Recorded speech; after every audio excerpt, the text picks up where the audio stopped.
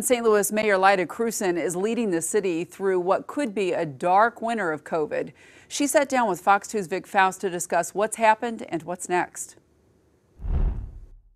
The virus is raging in our community. Lots of cases, sickness, hospitalizations, and even death. But St. Louis Mayor Lyda Krewson says, all things considering, the city is holding its own. The people, the residents, and the businesses in the city of St. Louis have done a great job over these past nine plus months. While Krewson wants her city's COVID numbers lower, they are the best in the metropolitan area, comparatively speaking. We have, this is seven day rolling average, about 45 new cases per 100,000 people per day.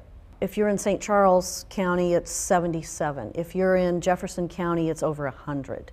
If you're in St. Louis County, it's 66 or 67. State of Missouri, 66, 67. St. Louis City businesses have looser restrictions in St. Louis County, and restaurants and bars are open for inside service. Are you looking at data? Because it seems like you are. We look at the data literally every single day to keep people safe, but to also keep people employed.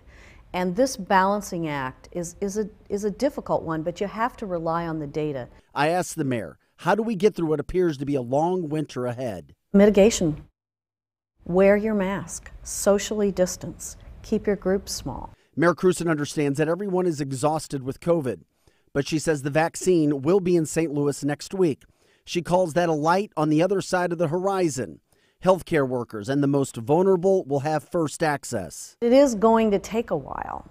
And so by the time someone who's not in any of those groups has the vaccine available, it, it might be March, April, May, in, in the spring timeframe. Vic Faust, Fox 2 News.